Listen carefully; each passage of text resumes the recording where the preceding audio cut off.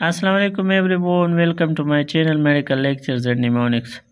Today I'm going to talk about on the traumatic disorder of the auricle.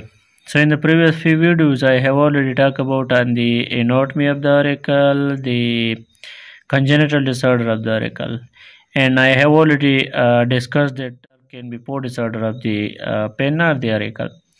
The first was the congenital which I have already talked about on it and the second is the traumatic disorder. The third is the inflammatory. And the fourth one is the uh, neoplastic condition or the neoplastic disorder. So in this video i'm going to talk about on the uh, traumatic disorder of the first uh, traumatic disorder is the hematoma. So hematoma is the collection of blood between the auricle cartilage and the perichondrium of the cartilage. We know that uh, the cartilage is uh, covered by a thin layer which is called uh, perichondrium.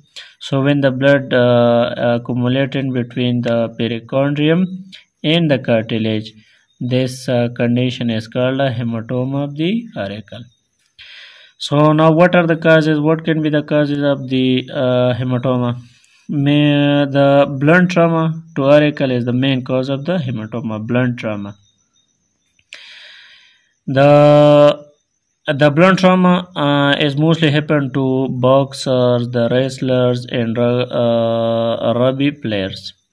So the hematoma are mostly uh, are mostly seen in these uh, in these type of people who are playing the boxing, wrestling, and rugby games and rugby footballs what will happen to the hematoma so, after it occurs so the uh, fate of hematoma. The hematoma may clot and then organize.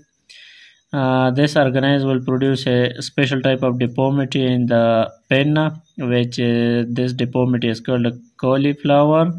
The the another name is the uh, pugilistic or the boxer ear. Here you can see on the screen. The uh, hematoma may get infected and it can cause the severe perichondritis. So now, so how to treat the hematoma? The hematoma can be treated by uh, aspiration uh, under aseptic condition and uh, pressure dressing. The hematoma should be aspirated.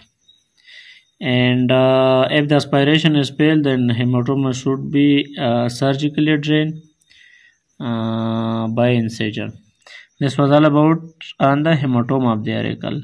So the next uh, traumatic disorder i will discuss in separate videos. So thanks for watching the video